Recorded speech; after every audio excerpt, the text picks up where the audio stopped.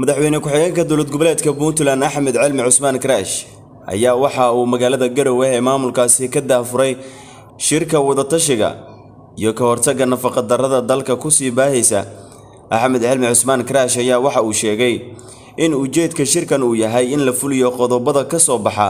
maadaama uu sheegay in qeybo fara badan oo ka tirsan dalka xilligan ay ka jirto nafaqadarro baahsan waxaana uu sheegay in dhammaan mas'uuliyiinta hay'adaha caafimaadka bixiya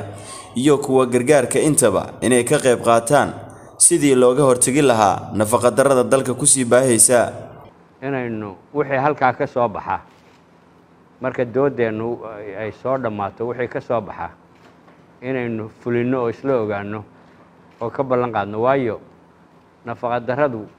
waa wax aynu wada ogsoonnahay waa waa cudurrada dilaagaa bay ka mid tahay carruurta soomaaliya ama dunidaba dhibaatada ay ku hayso ama sida ay wax u dhinto waa la soconnaa sidanuu sheegaya hadda wasiirku ka hadlayey hooyooyinku iyaga qudhooday dee taabanaysaa iyaga caruurtii maxay ahaytay in wacyigelin la sameeyo in wixii laga qabanayo oo nafaqada kor loogu qaadayo nafaqadarrada lagula dagaalamayo in iyada qudheeda wax laga qabto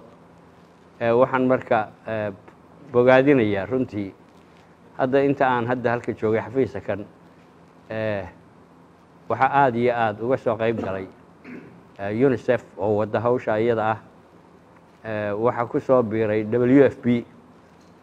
oo runtii aada iyo aada mashruuca kan sun movement. Runtii awoodda saaray waxaan rajaynayaa in hay'adaha kale oo for example kuwa inala jooga iyo kuwo maqanba inay iyaga qudhooda xulis ka saaraan oo wixii aanay hadal noqon iyo shirare ee wax ka qabashadeeda ay iyana ka soo qayb galaan oo xil weyn iska saaraan. Cumar guux raadiyaha iyo t v-ga city